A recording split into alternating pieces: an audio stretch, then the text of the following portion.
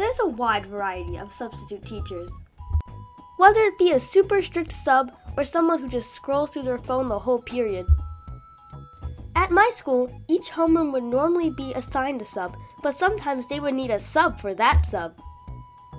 I remember one time being dropped off to school a little later with my brother. All of our classmates were talking about how horrible the sub was. I asked about the sub, and one of the students said, The sub told me I was going nowhere in life. Well, that's harsh. I never saw that sub again.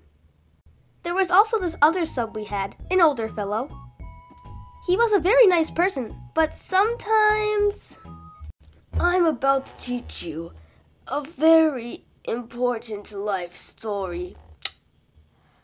This story will teach you why being patient is very important. I think you could see how that gets annoying after 30 minutes of talking. These two subs may have seemed irritating, but none of them come close to this one. It was just a normal day in English class. We were doing some worksheet. And this guy said something to his friend while the sub was talking.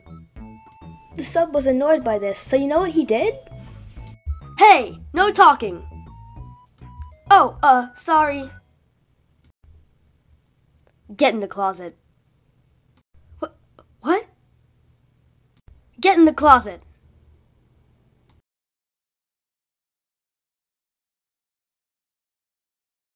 That sub was banned from school grounds after that. Welp, that's all, folks. Moral of the story? Put kids in closets.